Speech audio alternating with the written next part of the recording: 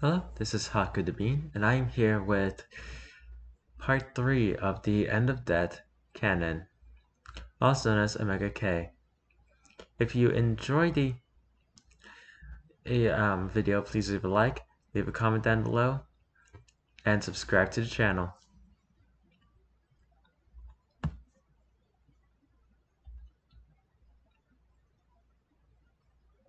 Twenty twenty, September twelfth, fourteen oh two.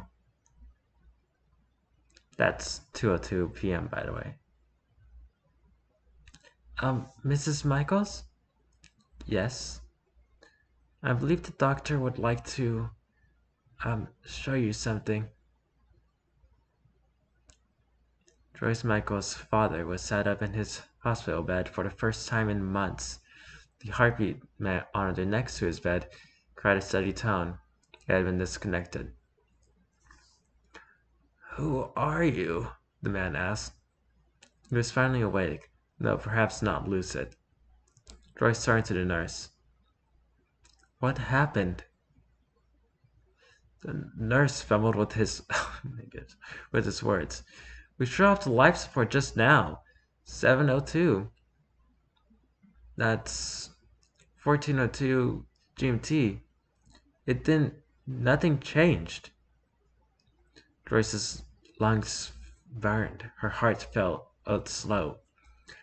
This can't be real. 7.32. Half an hour later. Joyce was in the hospital lobby. The doctors had told her to go wait while they worked out what had happened. A television in the corner of the room was tuned to the news. It wasn't just her dad. It was everyone.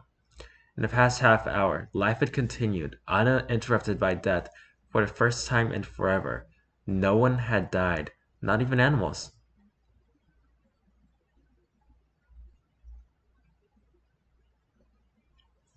The camera was focused on some boy who'd slapped a mosquito on his arm. Amongst its remains, what was left of it still writhed, trying to fly away. The presenter was smiling. A miracle, she called it. Joyce couldn't manage a smile.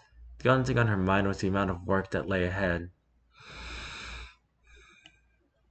2020, September 13th. Hey, Joyce. She quickly finished typing up her message and hit send before looking up to see who had come into her office. She smiled when and she saw it was Daryl Lloyd, a researcher whom she'd worked previously. Hey Daryl, what brings you down here? I just got assigned to a new project and wanted to come say hey, goodbye. What are you up to? I just sent an email to site director asking for a transfer, actually. Can I see it? Sure. To Site Director Fletcher from Dr. Joyce Michaels. Subject Omega K Research Request. Hi Tom, I'd like to request to be on the team researching Omega K. Not only is it in my field, but it's very much a personal matter to me. I've worked with the analytic teams, analytical teams for SCP-2679 and SCP-3138, both of which required me to determine the cause of death for anomalous corpse corpses.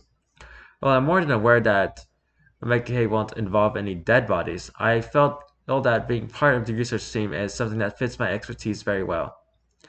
Many thanks, Joyce.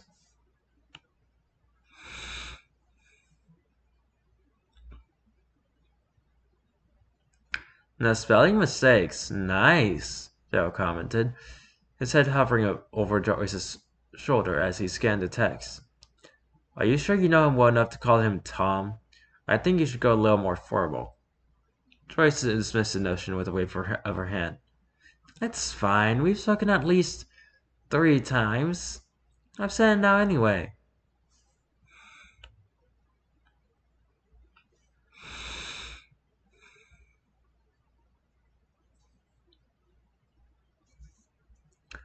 Daryl sighed in mock exasperation. You're too late, by the way. Emily Young has already claimed the project. It's number S. It's numbered SCP-3984. You couldn't have told me that already? And not my fault you couldn't wait to send the email. Fair enough. How did she get it so quickly anyway? Seemed like she claimed it literally minutes after it happened.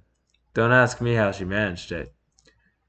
Joyce shrugged. I guess she does work fast. How do you know this stuff anyway? I'm on her research team. Well, come on now, that's not fair. Do you think you could get me a place? Harold laughed gently. I'm not sure that I can. She was keen on having a very small team. Shame. Look, I actually have to head to a meeting in a few minutes, so I don't really have time to chat. You know, Daryl began, his voice trailing off. Joyce looked up at him. A moment, a long moment passed. What?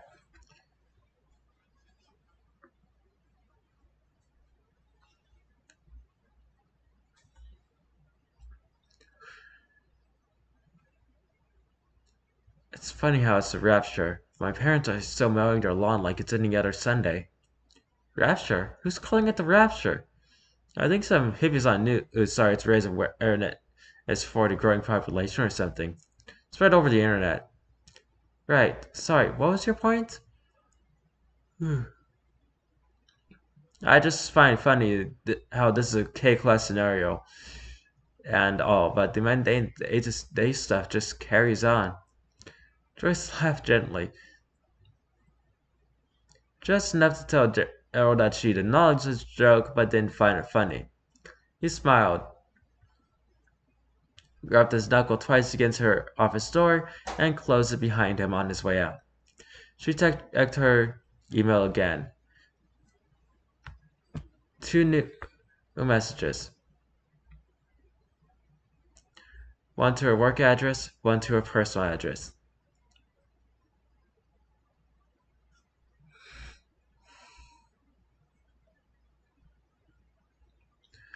To Joyce Michaels from Site Director Fletcher. Re Omega K a research request. Dr. Michaels. Omega K is a personal matter for everyone in the, in the Foundation. It's a personal matter for everyone in the world, no less.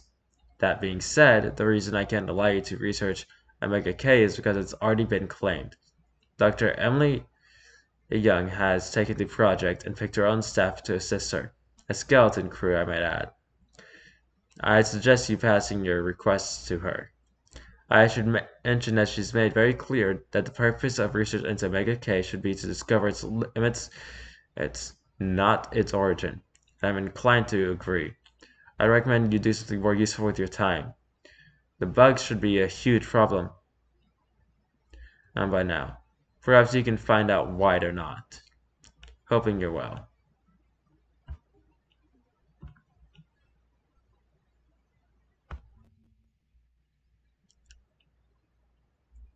Oh, that's just a future part. We'll read that later on. Site Director Thomas Fletcher. To Joyce Michael 79 at gmail.com.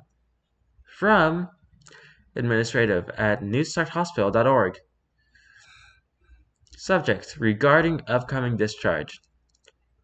Dear Joyce, on account of budget constraints and increasing hospital members, the New Start Hospital regrets to inform you that your relative, George Michaels, will be discharged from the hospital on the 15th. As Mr. Mark Michaels is no longer in a terminal condition, we trust that this news will only bear a minor inconvenience. Be sure to let one of our staff know if you need assistance transporting Mr. Michaels to your home. Regards, New Start Hospital.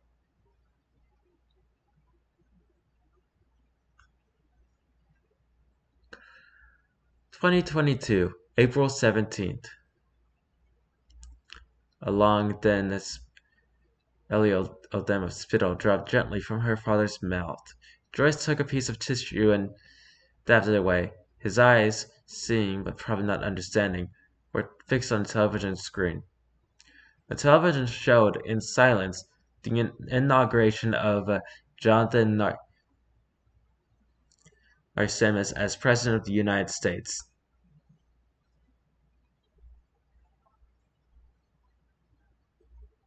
The election had been a landslide. As his manifesto was neither left wing nor right wing. He simply had a solution, which is what everyone had wanted to hear. Seems kind of impossible to have a solution in this situation. Unless they just mean that politically, which I won't get into. Three sharp knocks on the front door woke Joyce from her mental haze. Her eyes drifted hazily from the television, which was turned on but muted, to the door. She rose from her seat and made her way over to the source of the noise. She took a quick look through the peephole and saw someone she faintly recognized from years ago. A face she could barely remember and certainly didn't know by name.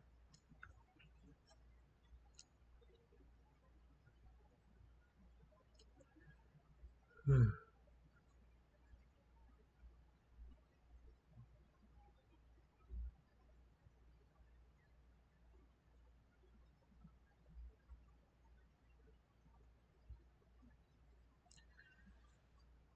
She opened the door, and someone dressed in the green uniform of Cheyenne Point, an assisted living facility a few hours' drive away.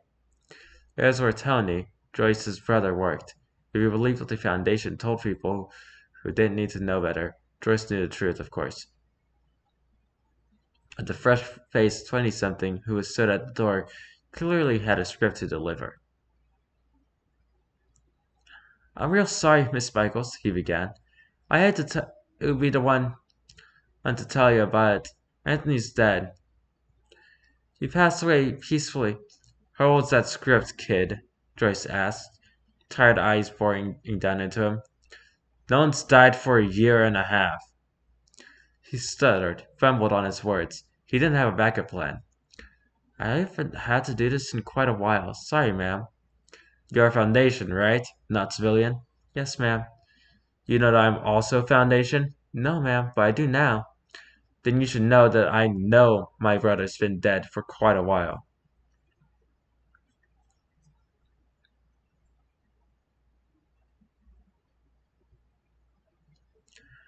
I'm real sorry, eh, ma'am, the boy mumbled. He was doing his best. I, I guess it's better than finding out now? A quick glare silenced him. It's not.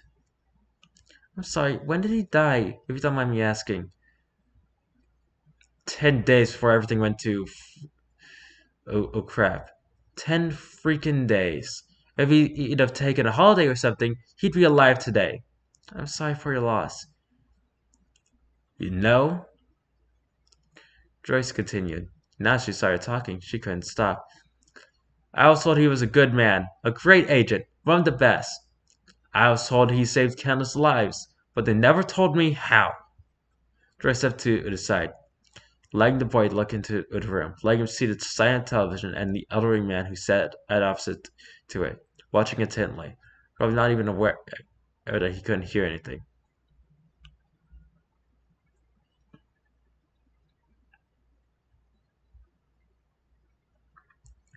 That's my dad, she continued.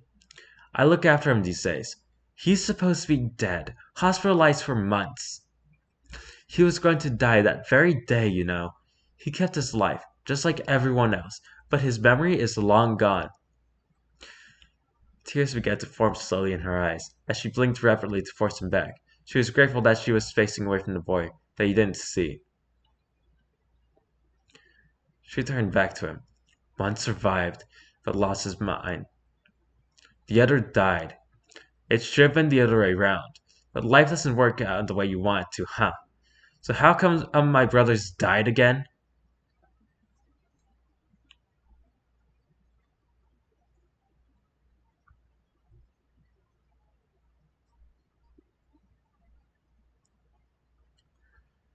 The boy said he didn't have a response for this. It was supposed to be a quick visit. I'm sorry, ma'am. It must have been a mistake. I'll, I'll, you know, we can maybe do something about your father. Looked after him for you. That way you can maybe come even come back to the foundation. Have a little more time on your hands. I'll think about it, Joyce said, and then she gently shut the, a door over the boy's face. She took a seat next to her father. He asked who the boy was, but she didn't answer. She wouldn't and remember asking by the time Reed finished speaking.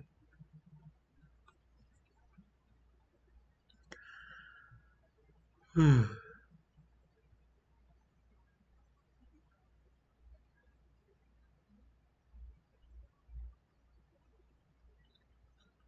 Joyce sat at her desk, compiling the report she'd been asked to make, a list of anomalies, both in containment and otherwise, and any changes that occurred to them as a result of Omega K. She stared at the list, her five most recent entries, the ones she'd finished today, uh, staring back. So we have SCP, Post-Mega-K behavior, and Post-Mega-K classification. SCP-1440 SCP-1440 entered a nearby town and dwelled there for a week without causing an anomalously formed disaster. The Foundation proceeded to capture SCP-1440 for containment at a nearby site. Post-Mega-K classification Euclid, pending further reclassification as, as neutralized. I'm guessing 1440 usually it used to um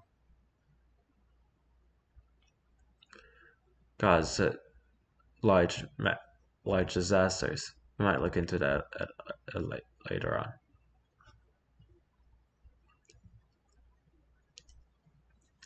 SCP-2935. The Foundation is no longer able to access SCP-2935. Its entrance now leads to a non-anomalous tunnel system.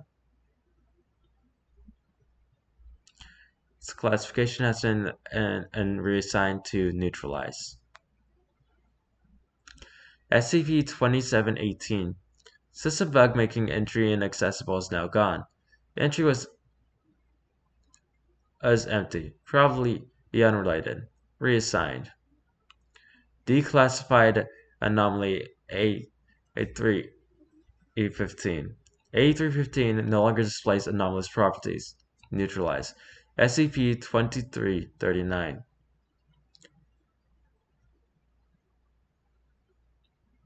Population and number has continued to increase into the millions, now capable of simulating upwards of 20 symphonies simultaneously. It's now Euclid. Three sharp knocks on her office door diverted her attention from her work. Come in, she called. The door opened and Daryl Lloyd burst inside. He looked a little disheveled, his hair not quite in place, a little red in the cheeks.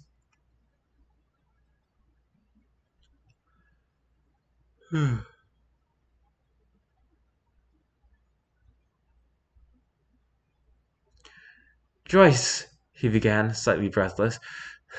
Young just tried to kill herself. I know you've worked with her previously. I just. I just wanted to let you know. Emily Young? Emily, yeah.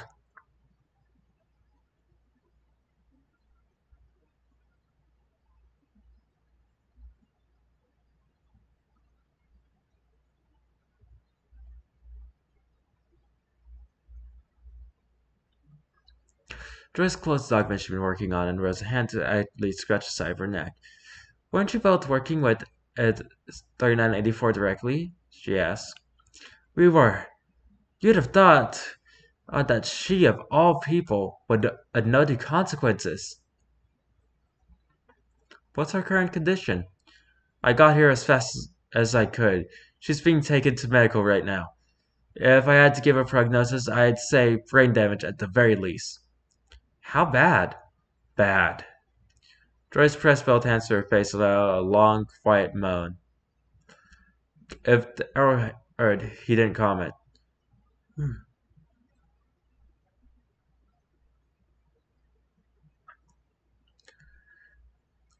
A long mo moment passed. Daryl broke the silence. I'm sorry, Joyce, he began. Were you too close? Joyce lowered her hands from her face. She took a straight breath in and exhaled it slowly. "No. My brother worked with her, though." Daryl nodded. He understood. "Can you let someone know that I'll be taking over at 3984?" "Are you sure?" "Yeah, I'm sure. I wanted to originally, remember? I'll write up the post incident report and everything. Just leave it to me. I want to see Emily first, though." Daryl shook his head sympathetically. Of course, I'll take you there now. 2030, October 3rd.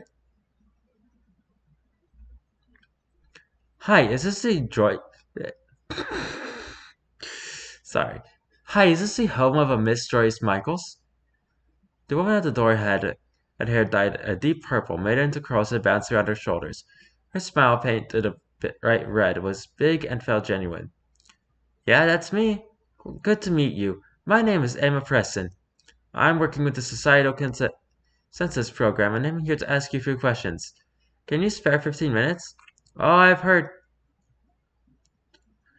heard about you, you guys. Did you find didn't you find something weird happening in Florida or something? The woman shrugged, a wry smile on her face. I'm smart. I'm sorry. I wouldn't know about that. I just asked the questions. Do you mind if I come inside? With no excuse readily available, Joyce waved her inside. The Preston. Preston curtsied and led herself into the lounge. The two sat on either end of the long couch. You are Joyce Michaels? I am. Can I have your age and gender? I'm 51 and I'm female, but I'm hoping you knew that. Preston laughed gently. Hey, I'm not one to uh, judge.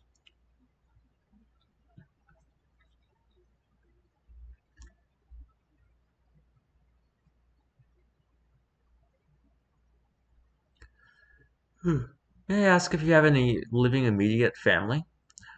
Uh, sure. Joyce took a moment to think, and saw Preston was already writing though she hadn't said anything yet. My dad, George, is 83. He lives in an assisted living complex. My brother, Eric, is 48. They don't know where he's living at the moment. Have you visited your dad recently? I, uh, that's a little personal? No, not, not recently. Preston looked up from her notepad. I'm sorry, is that everyone? That's everyone. Thank you, Joyce. May I ask if you're expecting a child or if anyone you know or if you know anyone who is? I'm not, and I don't. I'm pretty sure we're not allowed to these days. Preston nodded. You are, but only if the pregnancy is registered, which you have, have to declare a few weeks in advance, and then they can deny it. I think it's hideous personally, but it's the law. Sorry for asking. This is what the census is for, after all. Sure it is. That's no problem. Flame Narcissimus. Of course. May I ask about any lifestyle changes you've had since the rapture? The rapture? Oh, you mean the Mega K.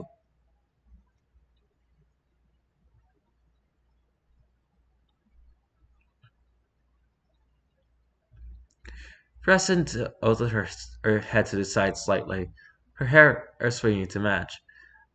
I mean, since people stopped dying. Yeah, that. Uh, I guess a lot. But really, what kind of information are you looking for? Preston smiled, as much as you're okay with sharing. For example, have your living arrangements changed at all?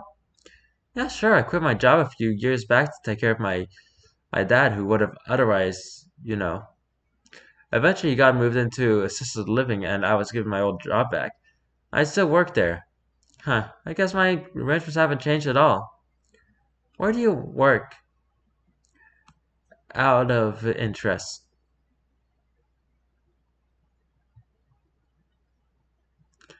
At the minute, just general admin for the foundation. I used to have a more hands-on role, but it got too much. I stepped down from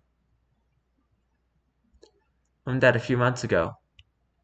The foundation? You know, the, uh... It occurred to Joyce that Emma Preston might not know what the foundation was, despite being employed by one of its fronts. Joyce had been talking to a civilian this whole time. The, uh, Manna Charitable Foundation, where we're a charity. Of course, my apologies. Would you say your organization's work has changed much since the rapture? It's Joyce never worked with Manna Charitable Foundation, and I had no clue what they really did. She decided to wing it. It's gotten a lot harder. Take care of the homeless is already difficult enough, and in recent years, so many more people are forced to live that life. We've been doing our best to take care of as many as we can. I don't keep doing so, but it's hard, you know? Every day when I walk again to work, I can feel the weight of those people who depend on me, who depend on us. And I feel like this is my place in the world. This is where I belong. I'm just grateful that so many people are still happy to donate their money to us, to help however they can.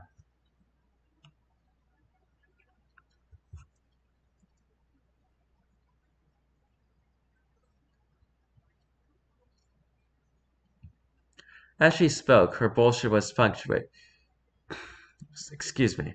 As she spoke, her, her BS was punctuated by Preston's perfectly timed expressions of sympathy and approval.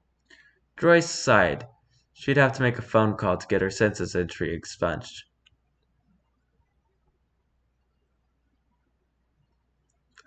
You mentioned you used to have a more hands-on role? In the soup kitchen, I burned my hands, so I don't work there anymore. Preston nodded solemnly and began to stand up.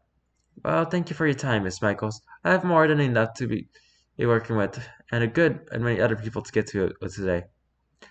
That's no problem. Have a nice evening, Miss Preston. You too, Miss Michaels.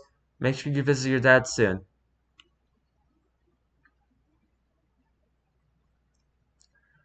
Twenty thirty three, January first. Hey, Dad? Hello? Have we met? It was the same conversation. Every time they saw each other. Every time. It was torture. In some ways, though it was a blessing. It had been over a year since Joyce had visited her father, and her guilt was suppressed by the knowledge that he didn't even remember who she was.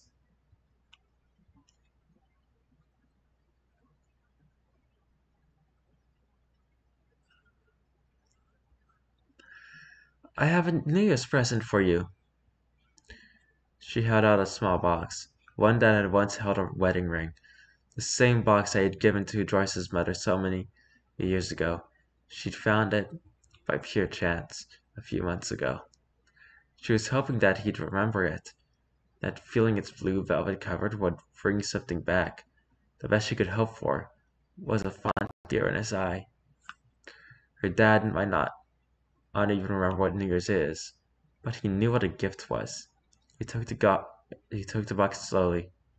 His hands, weak and covered with dark veins, shook gently as he struggled to open it.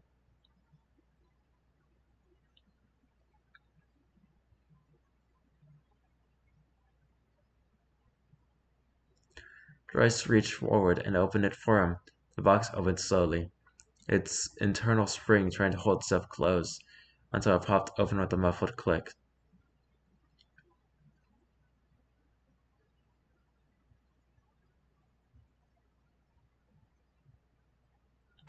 Inside was a single pill. What's this? he barked, his voice gruff and coarse. It's medicine, she told him. It'll make the pain go away. I'm not in any pain, I am. It'll stop you from forgetting things. I haven't forgotten anything. Dad, you don't even know who I am. Of course I do, he said, and for the first time since Joyce had arrived, he looked up and made eye contact with her. Joyce had forgotten, and what that felt like her dad's gaze, sharp and intelligent, boring down into her. He smiled, not with his, his mouth, but with the friendly wrinkles around his eyes. It all came flooding back. All the precious memories she'd hid away and locked up tight. How he taught her, her to cook, all those long cycling trips, the conversations they'd had together. It was like her dad was back, and for a moment she dared to oh, hope that he finally remembered his daughter. You're my nurse, finish. Of course, her dad was long gone. Joyce looked down at the pill in the ring box. She was putting her job on the line to bring her father some peace.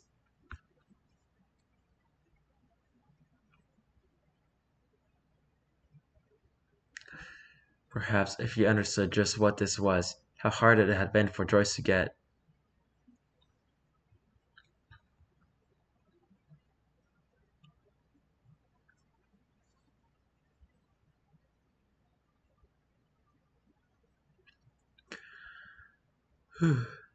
you know, Dad, she began. This pill was very hard to find. It's made by a company called Marshall Carter and Dark. They call this little pill hypnotrelline. It's very expensive, far more expensive than I could ever hope to afford. She moved a little closer, her father's eyes watching intently. I actually stole this. We, the foundation, that's where I work, intercepted a shipment of hundreds of these pills, and by pure luck, I managed to steal one just for you.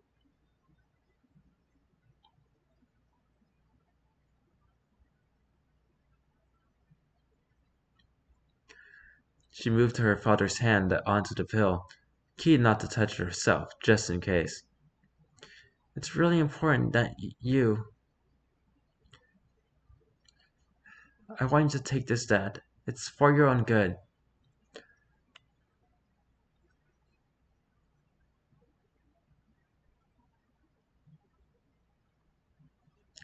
She didn't tell him the pill was the result was the result of a collaboration between MC&D and Prometheus Laboratories. As far as the Foundation could tell, um, the two corporations had, re- had re- swapped research as and when it was profitable for both. There's no telling in what Prometheus Labs had gotten out of the deal, as only the MC&D had a product to show for it. Perhaps if that uh, if her father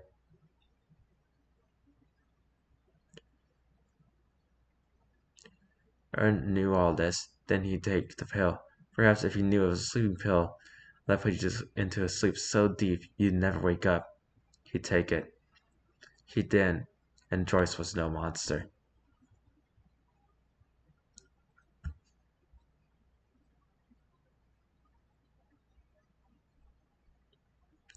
Twenty forty four, February twenty first.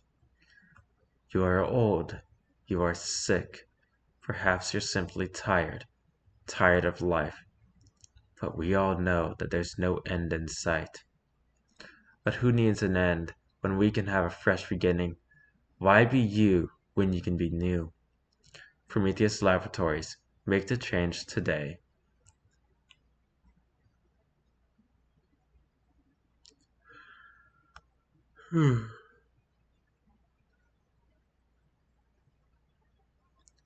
The advertisement had finished ten minutes ago, but its message still echoed in Joyce's mind.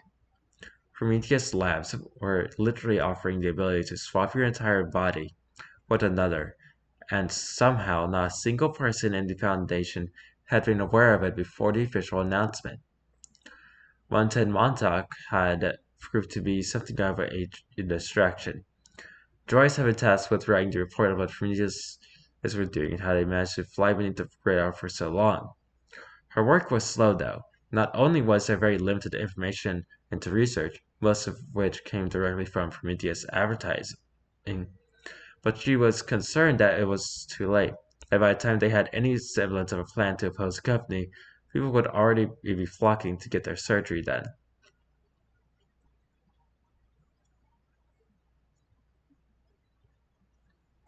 Before long, the news might even reveal that surgery actually worked, and by then it would be way out of the Foundation's hands. Three sharp uh, knocks on her office door diverted her attention. Come in, she called. The door opened, and Arnold Rogers, captain of one of the site's security teams, Doris couldn't remember couldn't remember which one exactly, partially stepped into the room.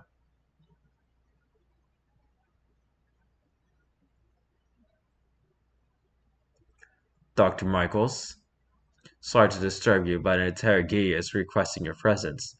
An interrogee? Yes, ma'am. We found her trying to access a classified document. The file for 3984, in fact. I haven't touched that in. I haven't touched that for years. No one has. Why would you want that? We don't know, ma'am. We're hoping she'll be a little more open if she's allowed to talk to you. Joyce nodded. Very well, take me to her.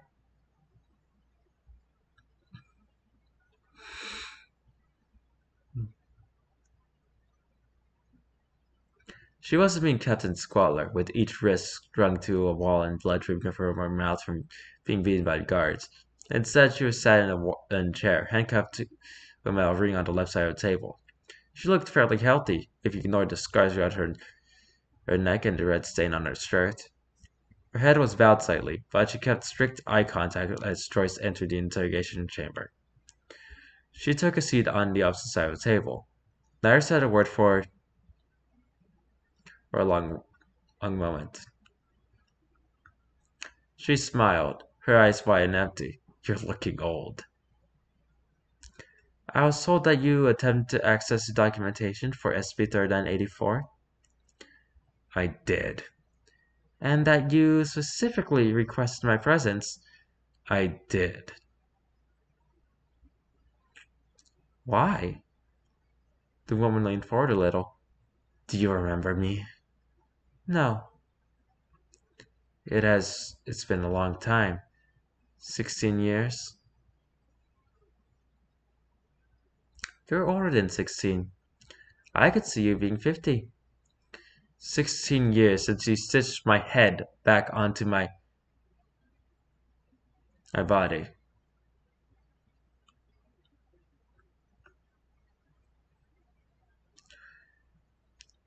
It all came back. 3984, every D class who Young got her hands on. The fate that befell them. They were all still alive. One had come back. She beheaded you. His smile grew wider. You remember me! I'm sorry, Joyce started. Words came back to her. Her words that she'd been planning to say to her but had never been given the chance.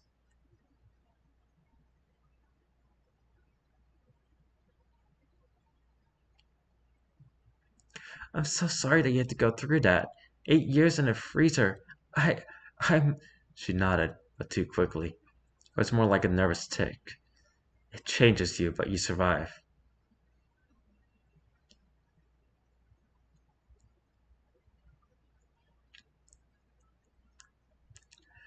The 11,424. That was your destination. What was your, your name? A look of confusion passed over her face. She didn't like the word, or perhaps the answer, but it was gone in an instant. It doesn't matter.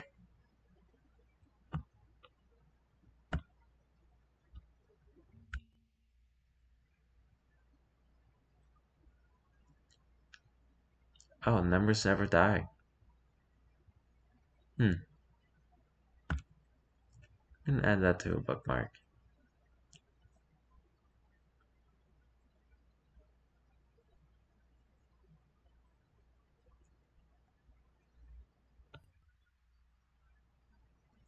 Why did you want to talk to me specifically? Young was trying to hide something. I knew it. I know it. I found the evidence. Hmm.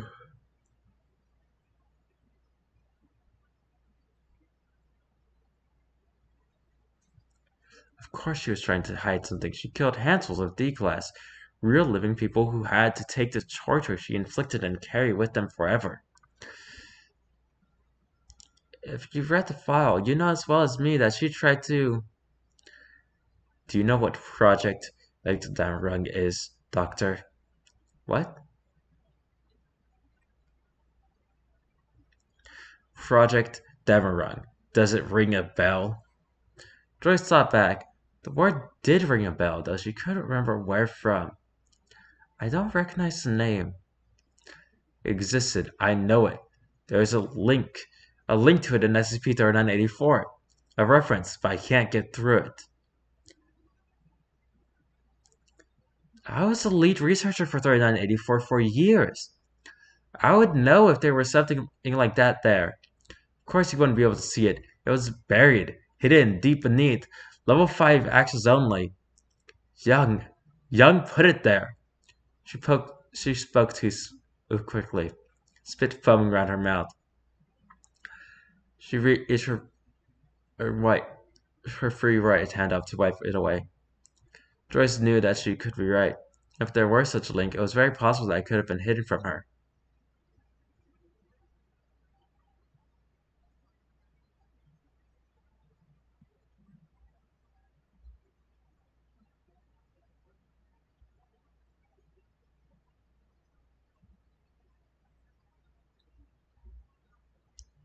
Joyce turned the door. I think we're done here. No! No! she cried, stretching forward with her free hand. Panicked eyes staring up at Joyce. Tell me then, Doctor. Tell me why research into Omega K was as forbidden. Because there's no point. There was no point in any of the tests we did for 3984. A guard's voice Eyes echoed through the door, barking some command. Promise you'll look into it. No. I will. The door swung open and Joyce was pushed aside. A guard grabbed the old OD 11424 and forced her, her into her seat. Another grabbed Joyce more gently and led her outside the chamber. The door swung shut behind her with a metallic clang. Arda Rogers placed his hand on Joyce's shoulder. I'm sorry you had to go through that, ma'am. Forget what she said. We'll take care of her. It's no problem, Joyce replied, but her voice was distant. The 11424 could be right. Before she could look into that, though, she had a report on Prometheus Labs to finish.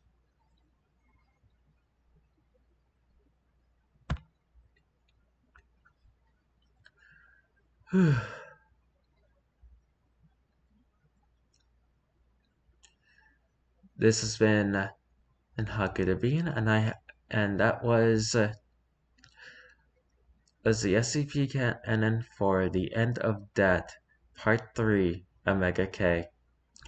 Please like the video, subscribe to the channel, and leave a comment down below. I'll see you next time.